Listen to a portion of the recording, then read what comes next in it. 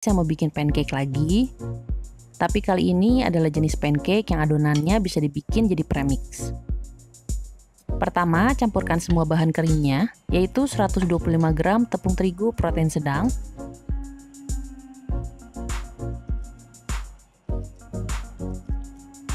tujuh puluh lima gram tepung terigu protein rendah,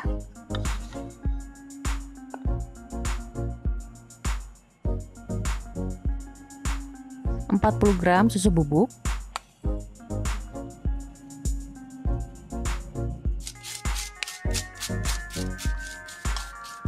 dua sendok makan gula bubuk,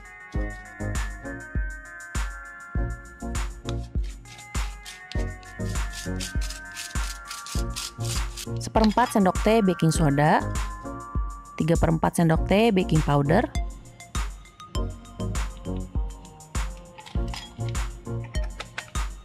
Dan ini semua akan saya ayak. Lalu tambahkan setengah sendok teh garam dan aduk rata. Bahan kering ini bisa disimpan. Jadi saat mau bikin pancake nanti tinggal ditambahkan dengan bahan basahnya. Yaitu 2 telur dan 200 ml air dingin. Ini diaduk aja Lalu masukkan dari bahan keringnya yaitu campuran terigunya. Dan ini diaduk aja perlahan sampai rata. Sebaiknya jangan over mix karena nanti pancake-nya ini bisa kenyal dan keras. Tambahkan juga 2 sendok makan mentega yang udah dilelehkan.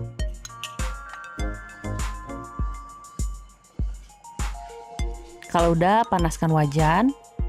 Lalu tuang sebanyak 1 sendok sayur ke wajan yang udah panas. Ini dimasak sampai muncul sarang, yaitu sekitar satu menit. Lalu balikan dan masak sebentar lagi sampai bawahnya ini kecoklatan. Kira-kira sekitar 30 detik, lalu angkat dan lakukan yang sama sampai adonannya ini habis.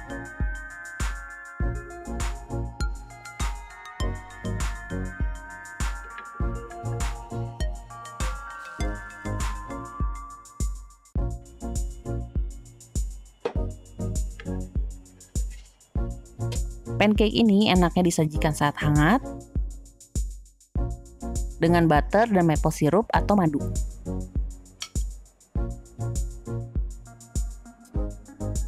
Oke semua, makasih udah nonton video ini.